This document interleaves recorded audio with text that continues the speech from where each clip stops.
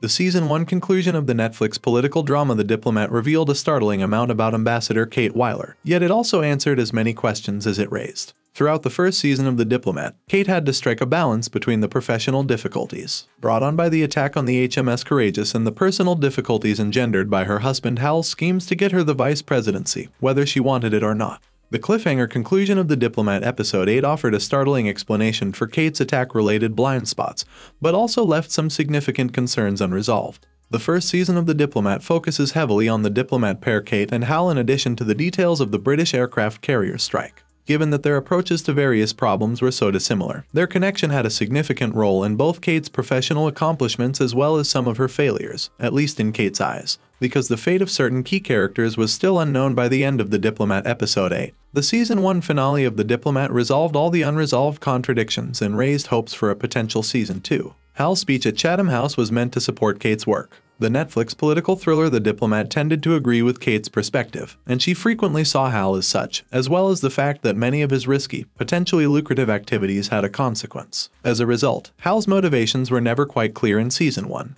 Given the president's displeasure with Ganon, Hal's old friend Louis Quainton even speculated in Season 1 of The Diplomat that Hal might be rejecting his offer because he was hoping to be named Secretary of State. Hal's gratified response did indeed suggest that he might be content with such a result. Hal's address at Chatham House, however, had Kate's work as its exclusive focus. Hal's Chatham House address focused on talking to everybody, regardless of rank, in order to achieve peace. Given that Kate listened to both Iranian and Russian officials to find a solution to the attack on the HMS Courageous, her speech's inherent political nature would have only improved Kate's image when her vice presidency was announced. It was also consistent with Kate's actions as ambassador. Furthermore, given that MP Merritt Grove was the target of the car bombing in the Diplomat Season 1 finale, he must have been aware of the Prime Minister's participation, making the meeting about the investigation rather than Hal's future candidature for Secretary of State. Kate wearing the red dress signaled her marriage ended in The Diplomat. The first season of The Diplomat included a lot of Kate repeating her desire for Hal to go and give her some space to work. She still hadn't forgotten or forgave Hal for his valiant actions in Afghanistan, which purchased time but prevented 300 Afghans who were cooperating with the United States from being transported out of the country. That, together with the high cost most of Hal's careless deeds demanded to be paid, did not convince Kate to have faith in Hal once more. However, their collaborative success with the Russia plan persuaded Kate to give Hal another chance and to stop worrying about having to be married in order to become vice president.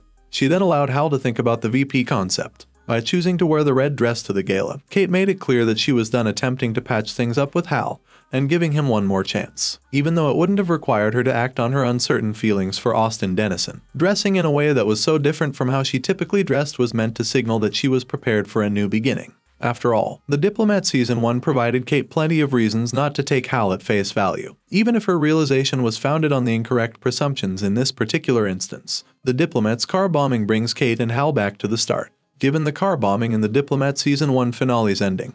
Kate's decision to finally marry Hal will definitely encounter a barrier. In the closing scene, her security team undoubtedly arrived to inform her of the bombing and to get her to safety. Now that Hal's life might be in danger, the ambassador is probably prepared to change her mind. Even though the car bombing actually jeopardized Hal's life, Kate was not at all ready for him to pass away. After all, their most recent life-altering incident had cemented Hal as the risky man in her opinion. Trowbridge explains everything that didn't make sense about the attack. One of the Diplomat Season 1 finale's most stunning disclosures was that British Prime Minister Nicol Trowbridge was responsible for the attack. Yet, his involvement was the only thing that could have explained the attack's irregularities. After all, Kate and her team never discovered who actually ordered the attack. They only proved that Iran wasn't behind it for sure and that Russia would have been pleased to see the true, typically Russian-affiliated offender apprehended as retaliation. An assault would have been the ideal occasion for it, given that Trowbridge also had a reason to galvanize the nation.